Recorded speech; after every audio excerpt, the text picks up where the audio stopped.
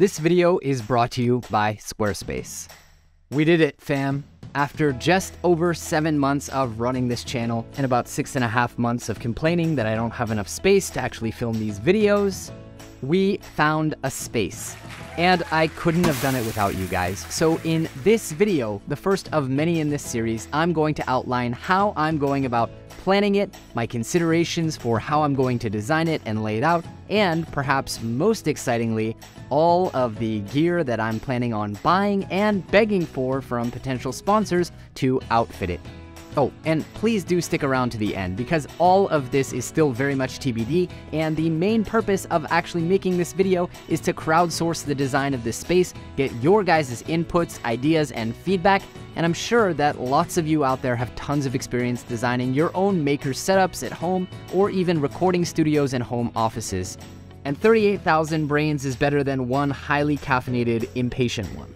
So, without further ado, welcome to part one of the ultimate inner city makerspace and recording studio build project. It's a working title. Let's dive in.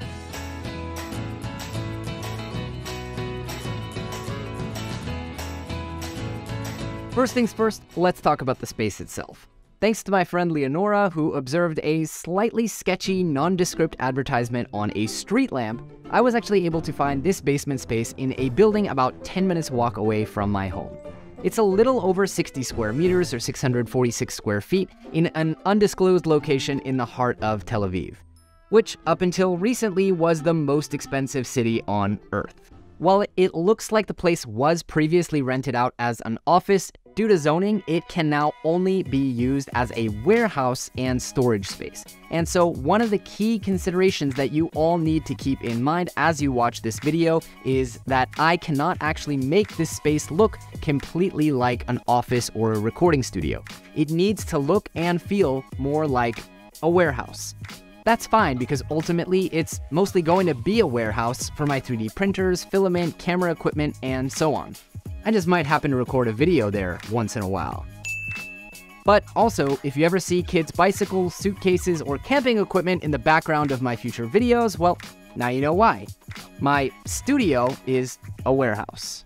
The space is divided up into a hallway, a kitchenette, a bathroom, a small storage closet, an office-like spot with glass walls, and boarded up windows, and then a main area with these two nice partitions. I also have an entire wall of built-in cabinets, which are great for hiding away the less aesthetic stuff, aesthetic, aesthetic stuff that I'll need to store. Finally, I have a very limited number of power outlets in all the wrong places, but we'll get into that in a little bit. The objectives. Of course, before any project, I think it's really important to first outline what it is you're trying to accomplish. And so let's talk really, really quickly about what I want this space to actually do for me and for this channel.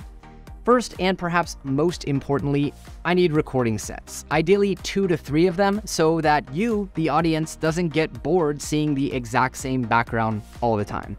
I've actually found that videos where I jump around from background to background, like my recent top organization systems video, perform significantly better than those where I record with just one background or camera angle.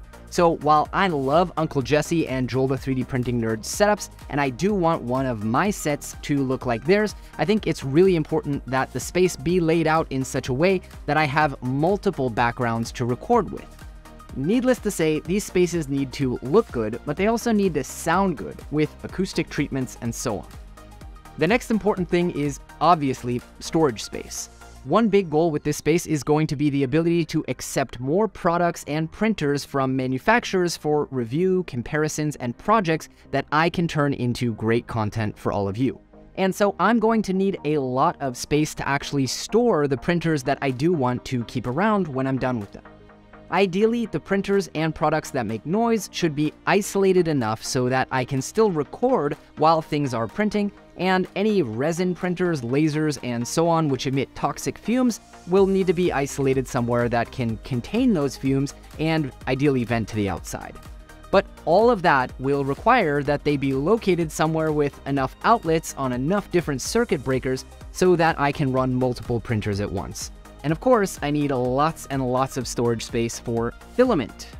ideally which would be in a humidity controlled environment, but at the very least near enough of the printers in a convenient enough location so I don't have to walk around to switch filaments. Generally speaking, I want to lay the space out as ergonomically as possible to reduce the unnecessary steps and so on. Because remember, above all, I'm lazy. The next consideration and requirement is going to be work areas. And by work, I mean physical work, not so much sitting on the computer and typing work that I can do at home.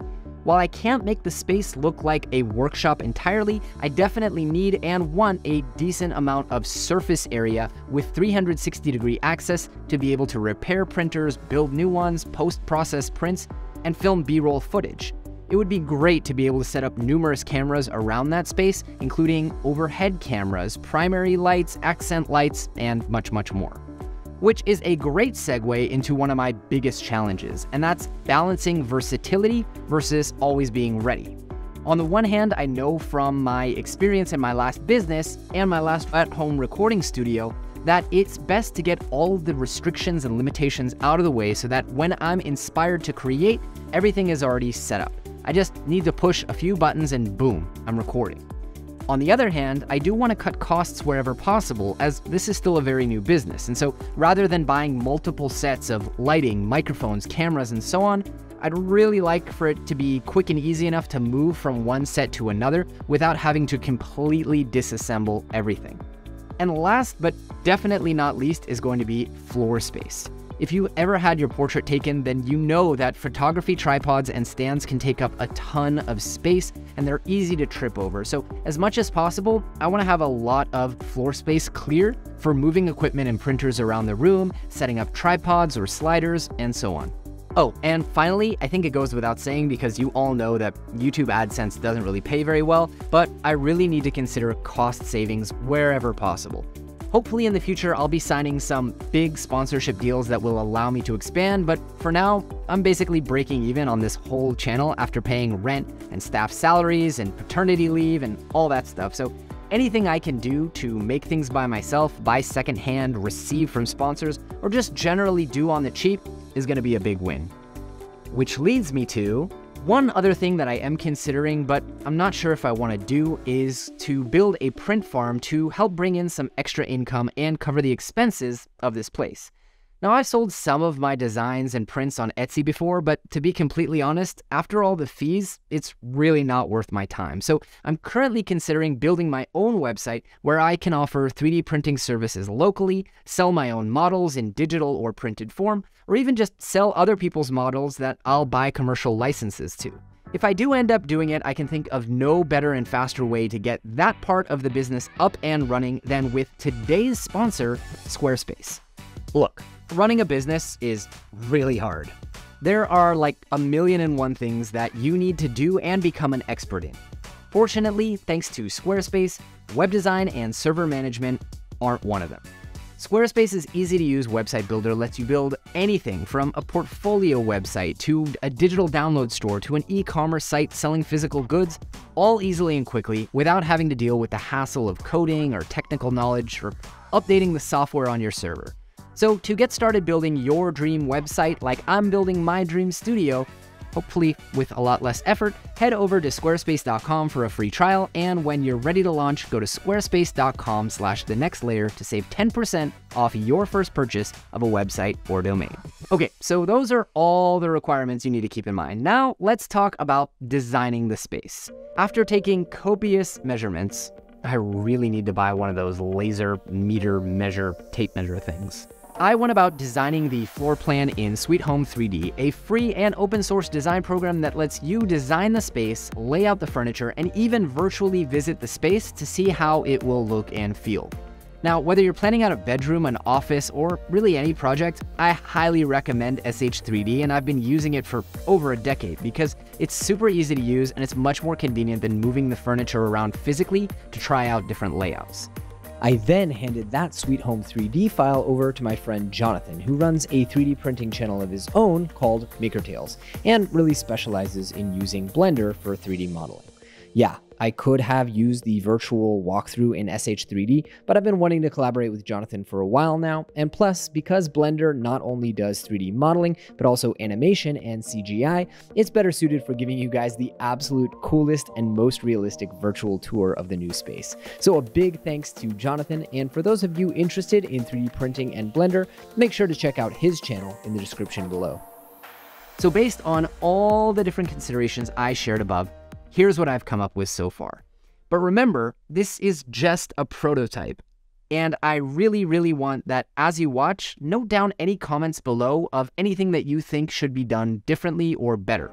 Okay, so as we enter the hallway in these built-in cabinets, we have storage space for all of the ugly but small things that are rarely used. I'm not really sure what that actually is going to be, but it's good to know that I have this storage space and it's hidden away for the things that I don't want to see every day.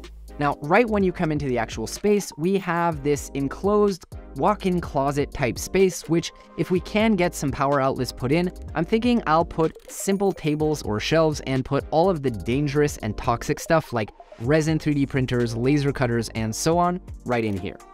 Then hopefully I'll figure out a way to vent fumes and all of that out of this window. As we turn into the main space, I'm thinking that each one of these cubbies will turn into a recording set.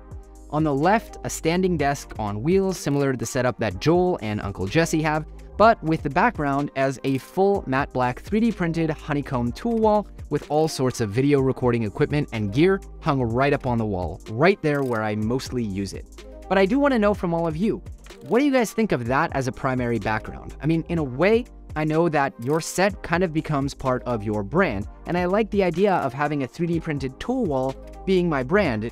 I mean, it already kind of is. But let me know if you think that it'll be too busy on the eyes to have a full wall of it. On the sides of the cubby, I'm thinking of maybe some shelves to show off larger 3D prints, such as busts and so on, but again, I'm not sure because I don't want it to look too busy. For lighting, I'm debating between mounting one softbox right on this column with swivel arms that can swivel 180 degrees from either side, and or doing some sort of autopole that'll run along the ceiling to the floor to ceiling or both. Then my main softbox and camera can be on one big C-stand or just a C-stand and a tripod or slider or whatever else for the actual camera. And there's plenty of empty area in the middle for that. In the right cubby, or the next cubby, I was thinking of putting a couch and a plant and maybe even a coffee table so that I have a kind of sitting set that I can use to change things up a little bit for monologues. I'm not certain about this one, to be honest, so let me know if you have better ideas, but it might also be good for recording podcasts, though, truth be told, because of the time of day that I record, I'll probably just record the infill podcasts here at home in my current home office. Now, I'm not sure what I will do for acoustic treatment of these two cubbies, but most likely I'm going to need to put some panels on the ceiling at the very least, and perhaps some cheap area rugs on the floor below. Along the right and back walls of the space, I'm thinking tons of shelves and storage, which I'll slowly add as my budget permits because they're really expensive here. Here for the time being, I can put the quiet stuff like overflow suitcases and camping equipment from home, and eventually, over time, I'll take advantage of the outlets along these two walls to add even more 3D printers or other equipment that requires electrical outlets. I can then maybe put another table on wheels right smack in the middle of the room with 360 degree access for doing projects or recording B-roll. And if I do this, it'll allow those shelves, whenever I actually have something worth showing that's not suitcases on them, to become a third backdrop and a third scene for filming. Next to the entrance, accessible from and draggable to all of the different points in the room, I'm hoping that I can hustle together another big tool chest like the one I have at home, with two or three empty drawers just for Gridfinity storage, drawer dividers, and all sorts of cables and so on. Then above it, the lesser used, less aesthetic, and larger video equipment like light stands and so on can go maybe on a honeycomb storage wall. Finally, we get to the crown jewel of the place, the print farm. To be clear, I currently don't do enough commercial printing to really justify having a print farm, but I figure that isolating all the FDM printers and filament into one room will be good for a few different reasons.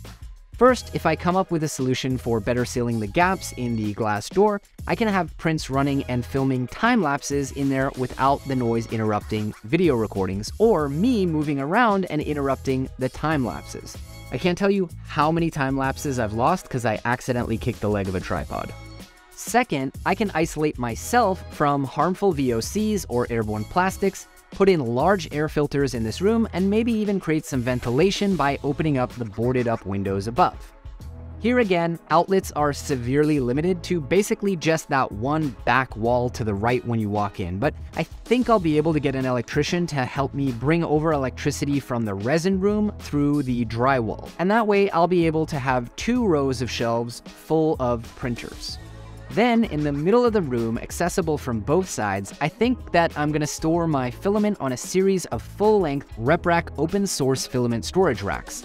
By my calculations, I should be able to store about 160 rolls of filament here, and I'm even considering using a large format laser cutter that's being sent over to create a sort of mounted dry box on a segment of the RepRack for storing hygroscopic filaments.